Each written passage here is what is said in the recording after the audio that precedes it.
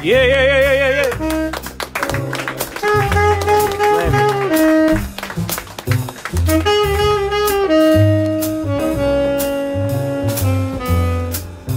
Thank you.